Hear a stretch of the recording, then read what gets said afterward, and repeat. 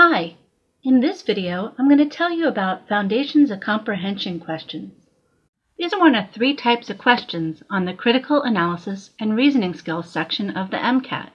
These questions are designed to test your basic understanding of the passage.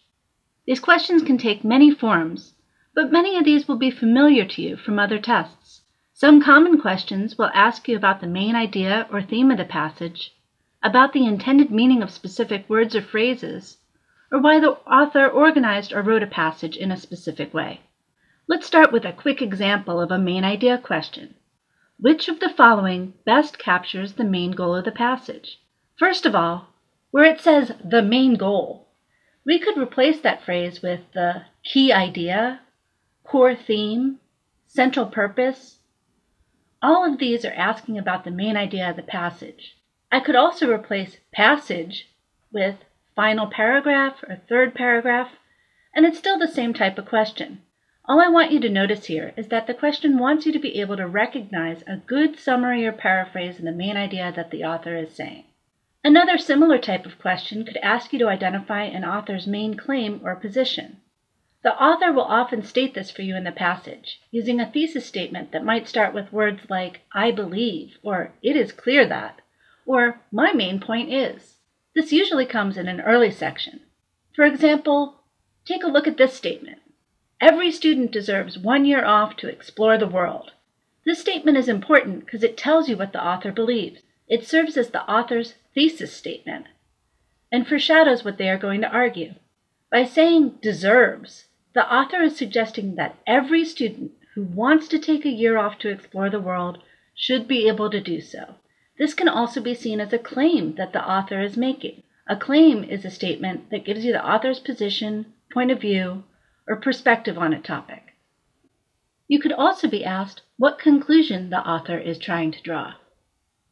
This is yet another way of asking you about the main point that the author is trying to make. When answering these questions, one great place to look is at the end of the passage to see if the author attempts to offer a clear conclusion as part of the closing section.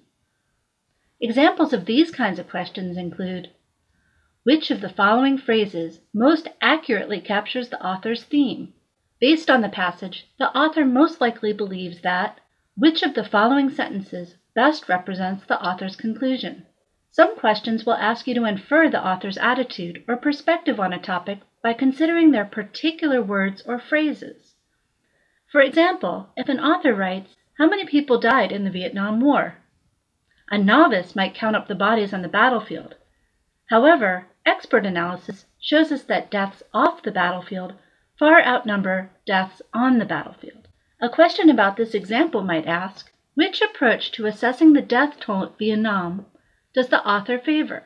The author uses the word novice and expert to suggest that the expert way is better. Sometimes the words themselves come loaded with meaning.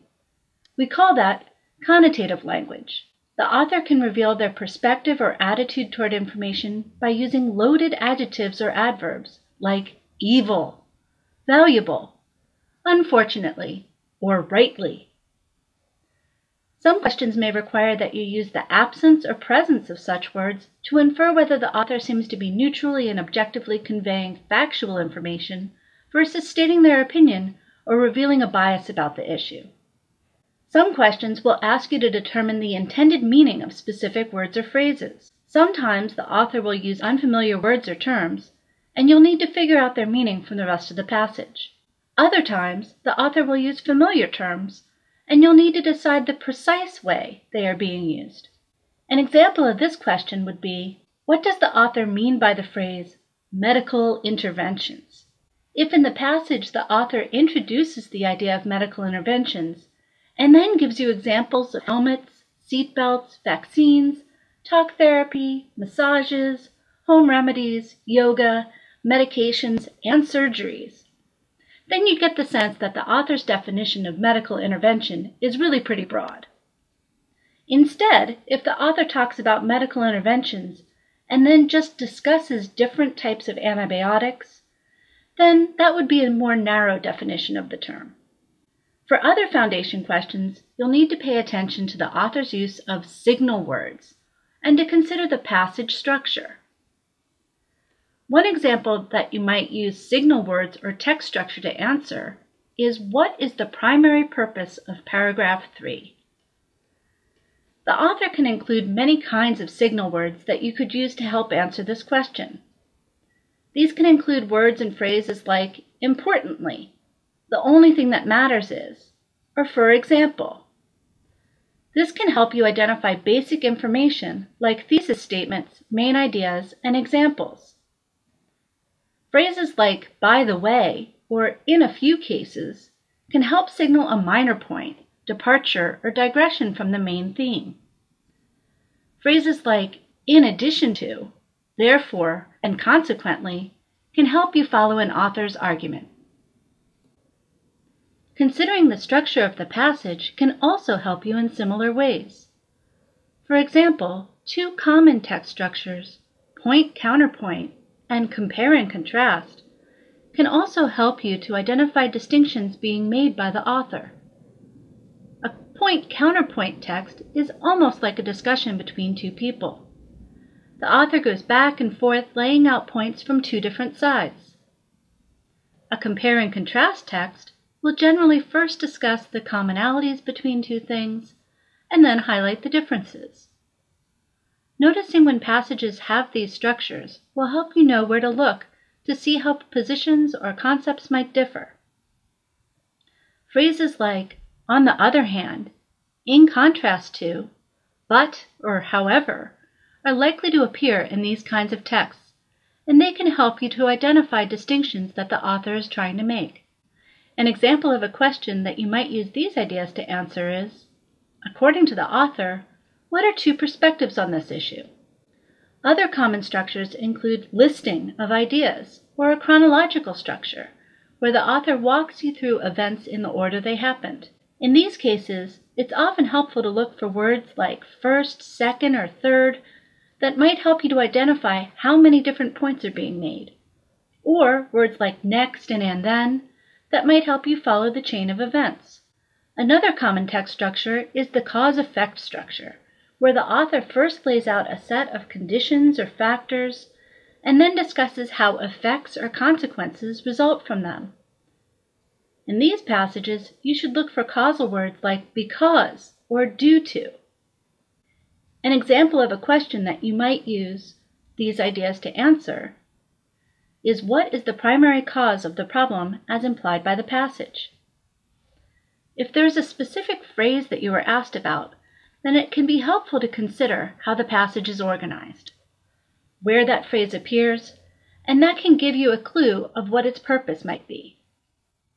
A final type of example is that you may be asked to interpret rhetorical devices. These are devices that the author uses as a way to convey their message. Rhetorical devices include the signal words discussed above, like however and on the other hand, but they also use things like repetition or parallelism. Repetition and parallelism are when words or sentence structures are repeated. These are examples of literary devices that may be used by the author to draw attention to particular phrases. The author may also use other literary devices such as metaphor, sarcasm, allegory, or symbolism. Metaphor is when the author compares one thing to another. Jobs are prisons. Sarcasm is when the opposite of what is stated is meant. Dental work is a joy. Allegory is when the author relates a narrative or story that's really meant to be understood as being about something else, with the characters being meant to personify abstract ideas. In all of these cases, the author is not expecting their words to be taken literally, and questions may ask you how the author is intending their words to be interpreted. An example of a question asking you about the author's use of a literary device is the author makes use of sarcasm in this passage for what purpose? A closely related idea is that of symbolism. Symbolism is when the author uses an object or concept to represent something else. An author may describe an episode in which a character sees a beautiful flower that's fighting to grow through the cracks of a grimy city sidewalk. In this case, the author may mean that the character actually sees the flower, but may also be using the image to convey a message of beauty in unexpected places, which may be a theme for the work. An example of a question about the author's use of this device would be Which of the following is implied by the use of imagery about the flower? Similar to word choice, literary devices and figures of speech like metaphors can also reveal an author's position or attitude on a topic. They can color the author's message by using more or less pleasing examples. For example, comparing a political candidate to Robin Hood is likely to suggest a more positive view of the candidate than comparing the candidate to Hitler. An example of a question that asks you about this idea is It can be inferred from the author's tone that they believe which of the following. I hope this video has given you a good idea of what many questions in the Foundations of Comprehension category will ask you about. To better understand these types of questions, be sure to try some practice items and check out the other videos in this section.